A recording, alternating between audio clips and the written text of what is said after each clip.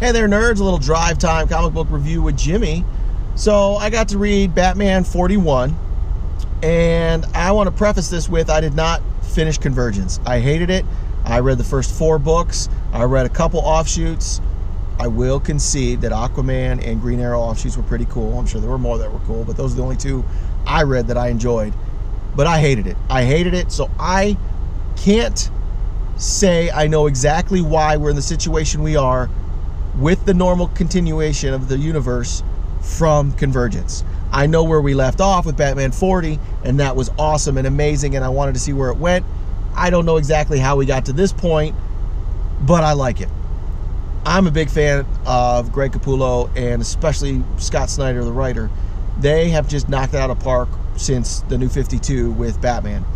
So when you have no Batman and the person who's enlisted to play Batman is a longtime friend of Batman, I'm fine.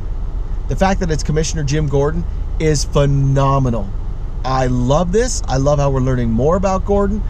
I love how every time he puts on the suit, he's telling himself, think like Batman, think like Batman, think like Batman. Phenomenal. And in his ear, he's got a team of Gotham police helping him do what he needs to get done but they're new at this too, and they're not awesome at it. I like this. We're getting to see a sort of uh, not even year one or year zero. It's like a negative because we're trying to learn how to be Batman, but it's not the Batman we know. It's sort of a team effort Batman. And I'm not talking about Alfred helping out Bruce. I'm talking about a team. So it's a bigger bureaucracy.